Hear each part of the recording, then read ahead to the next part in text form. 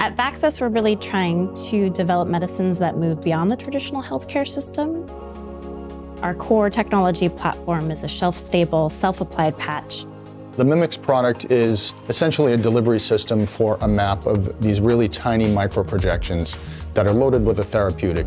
The map is preloaded onto the applicator. The user would then rotate the system to expose the green flag, position it against the skin, press it, and it leaves the map backing behind, which five minutes later you will remove, and that'll be your treatment.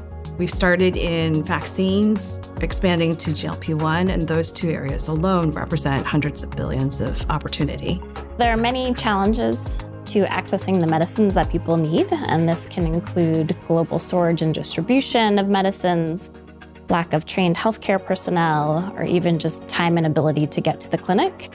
We set out to develop a system that's essentially needle-free and pain-free.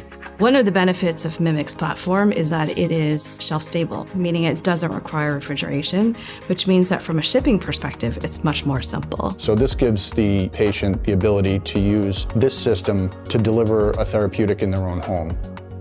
Ultimately, our goal is to enable improved access to medicines, um, not just here in the US, but globally as well. Over the years, we've been supported by a number of grantors and investors, RA Capital, Engine Ventures, Mission Biocapital, BARDA, just to name a few.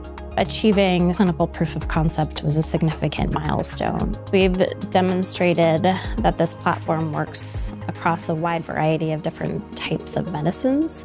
As we look ahead, we're excited to bring many new products into the clinic and work with partners to advance the science and to scale our manufacturing and actually get to commercial production of these important products.